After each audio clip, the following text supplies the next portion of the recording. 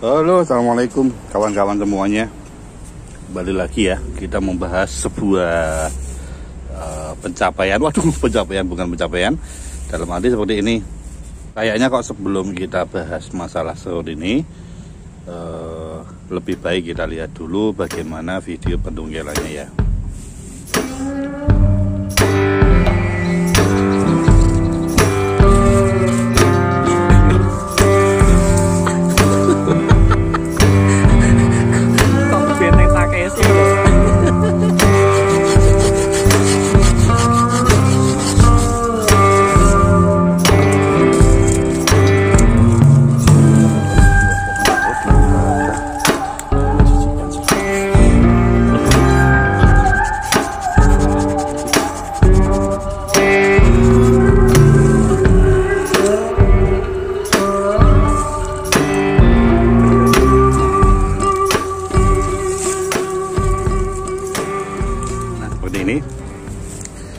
Adalah serut yang saya tanam dengan media hanya menggunakan pasir, pasir kali saja. Oh, bukan pasir kali, ini malah pasir bangunan. Saya menggunakan pasir bangunan dan dia sudah mulai tumbuh-tumbuh tunas seperti ini. Ini seharusnya saya sudah mulai training untuk pembukaan sungkup mungkin ya. Karena ini juga apa namanya? Uh, sudah terjadi percabangan pada tunas-tunas yang baru saya rasa berani nah ini saya menggunakan full pasir malang. Eh pasir malang pasir apa namanya pasir bangunan. Dan dia tumbuh subur seperti ini. Kosong-kosong kafe malah. Nah ini coba kita buka dulu ya. Seharusnya sih kita memakai sistem training di mana kita membukanya dikit-dikit. Nah seperti ini. Nah ini dia. Udah mulai tumbuh-tumbuh seperti ini. Pada kosong kosong seperti ini itu tidak masalah ini full pasir. Saya menggunakan pasir uh, pasir ini ya pasir bangunan. Nah yang menjadi pembahasan adalah kita bandingkan dengan yang kedua. Saya menggunakan sistem sungkup ini. Nah ini. Dia sudah tinggi sekali. Ini menggunakan sungkup bumi media juga sama. Pasir pasir pasir bangunan yang uniknya adalah dengan menggunakan sistem ini ya begitu tunas tumbuh seperti ini dia itu langsung survive. Kita nggak perlu training seperti halnya dengan menggunakan sungguh full yang bagusan jadi begitu dia jebol jebol seperti ini keluar dia langsung tumbuh. Keluar dia langsung tumbuh seperti ini. Nah ini udah udah mulai tinggi kita biarkan aja. Ini malah langsung saya taruh di tempat terik seperti ini. Jadi uh, untuk sistem ini sistem sungkup ini ya. E, malah saya langsung panaskan gitu aja. Ya nggak begitu panas karena e, ini ada tembok ya mungkin sampai jam 11 atau jam 12 lah terkena sinar matahari tidak masalah. Tapi dia udah tumbuh. Yang menjadi pembahasan saya adalah air media tanam yang menggunakan air. Ini saya baru baru ngeh ini. Benar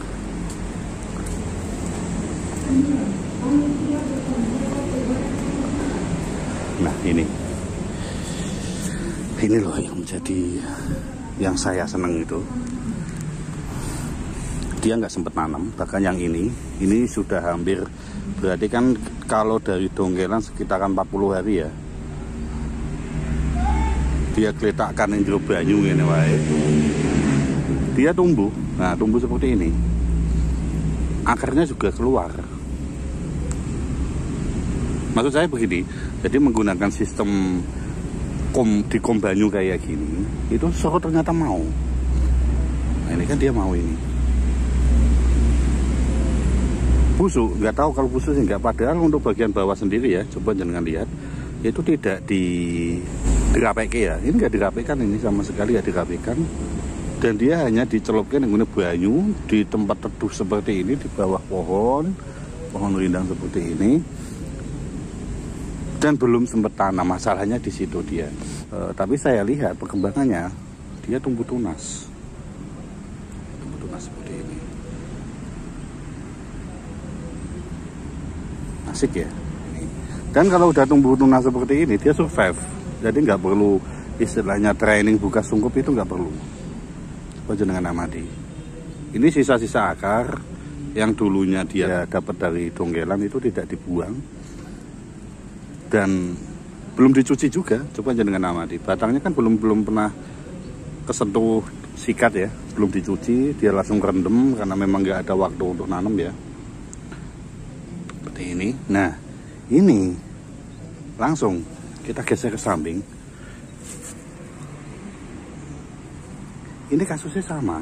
Jadi dulu dia itu punya ambil tiga ini. Satu dua tiga ini. Langsung dia redem.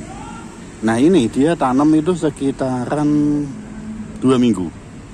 Jadi kalau memang serut ini selama dongkelan itu lima minggu berarti dia rendem itu selama tiga minggu dan tumbuh tunas.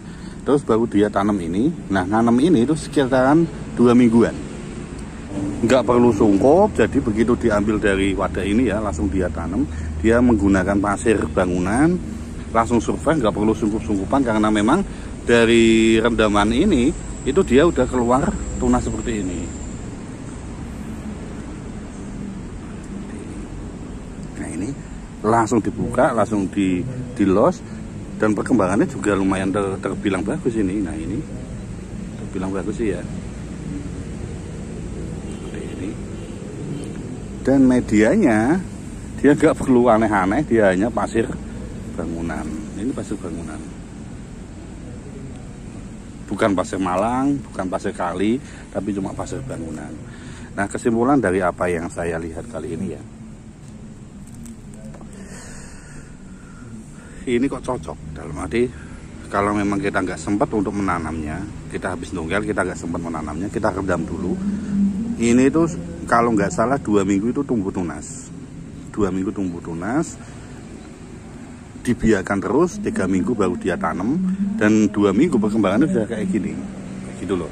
Jadi uh, istilahnya untuk menanam uh, serut itu bahwasanya butuh ya apa namanya kita butuh tahapan kita buka sunggup kita butuh apa semua pandangan saya tentang itu digagalkan oleh teman saya ini seperti ini. Nah dia langsung tumbuh dia langsung enak dan nggak perlu training untuk buka sunggup seperti halnya dengan sunggup bumi tadi. Nah yang jadi pertanyaan saya adalah dari situ saya mengikutinya bahwa dia menggunakan media pasir bangunan. Ternyata bisa jadi nggak perlu kita menggunakan pasir-pasir apa namanya pasir kali karena memang e, lokasi kita itu di perkotaan ya jadi pasir kali itu agak kesusahan. Kita menggunakan pasir bangunan itu malah subur nah kita beri contoh lagi. Serut saya yang menggunakan pasir bangunan.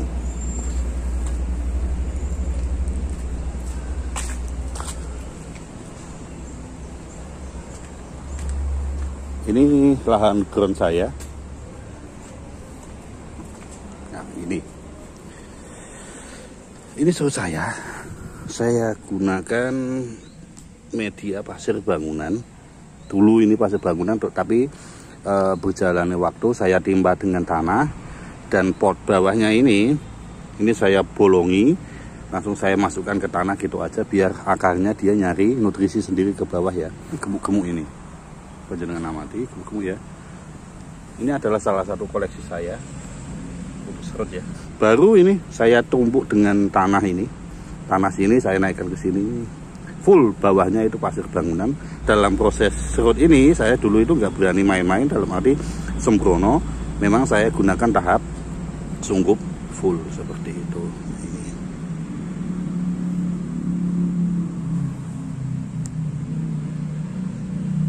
Oke gitu aja. Uh, ini hanya sekedar share.